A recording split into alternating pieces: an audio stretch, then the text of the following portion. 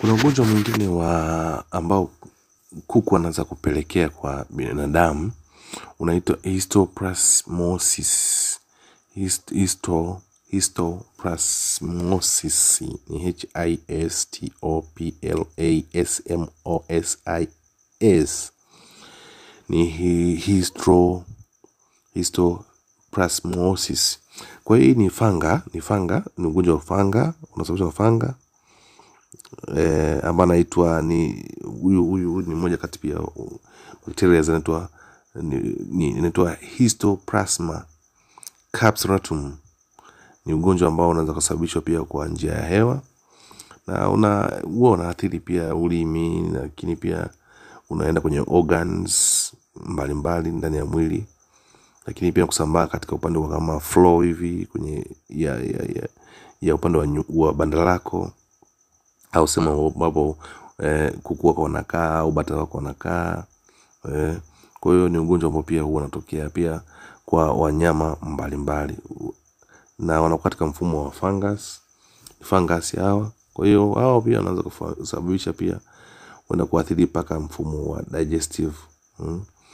eh, mmeng'enyo wa chakula. Kwa hiyo kwa wote, kwa wanyama na binadamu pia anaweza akatokea, Kwa hiyo unaweza kupata kupata pia ugonjwa eh, na ukaza kuathiri, na ukiupata huwa unaenda kama kama kinga yako ya mwili ni ndogo eh, inaweza ikapelekea wewe ukapata matatizo kwenye mfumo za organs mwilini eh.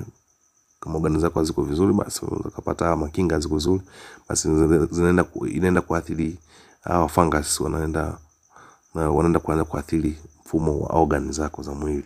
Kwa hiyo ndio ugonjwa mwingine huu ambao pia unaweza kupata kutoka kwa kuku au mnyama kwenda kwa binadamu, unaitwa histoplasmosis.